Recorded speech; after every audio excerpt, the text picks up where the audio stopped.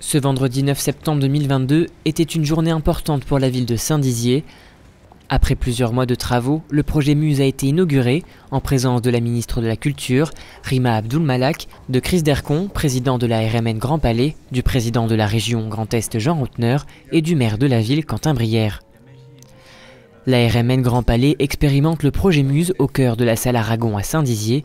L'objectif principal est de favoriser l'accès aux grands chefs-d'œuvre de l'humanité, le tout sur grand écran, une dynamique d'innovation numérique qui permet d'utiliser les écrans pour y apporter de la culture.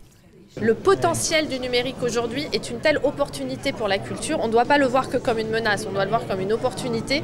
On, doit mettre nos efforts sur l'ensemble de ces chantiers, l'éducation artistique à l'école, la circulation des œuvres dans les musées partout sur le territoire, le potentiel du numérique, tout ça, c'est ensemble qu'on doit porter ces, efforts parce que l'accessibilité à la culture, ça reste un combat de tous les jours. À Saint-Dizier, deux modules composent ce projet. Muse Immersif, un espace de projection immersive de 150 à 250 mètres carrés, retraçant actuellement l'histoire de Pompéi, et Muse Découverte, un parcours basé sur des reproductions d'œuvres entourées de dispositifs pédagogiques et ludiques abordant des thématiques d'actualité. Je pense que c'est euh, c'est, je l'espère en tout cas pour tous ceux qui viendront, une belle découverte, une manière de comprendre que l'art c'est accessible à tous, c'est pas quelque chose qui est réservé à quelques-uns, euh, de sentir que même si on n'a pas étudié l'art, eh ben, on peut très facilement comprendre des œuvres à partir du moment où on les explique euh, facilement, et c'est ce qu'on a essayé de faire.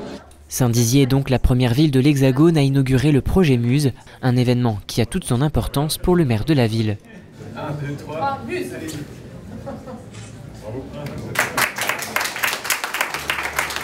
Nous, on est, tellement heureux de se dire que c'est ici qu'ouvre euh, l'une des premières grandes expérimentations nationales à Saint-Dizier.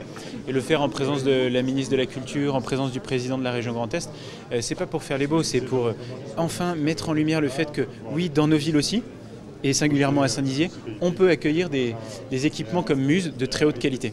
Par la suite, la ministre a effectué un tour dans la ville de Saint-Dizier afin de contempler les divers monuments architecturaux et le savoir-faire au Marnais.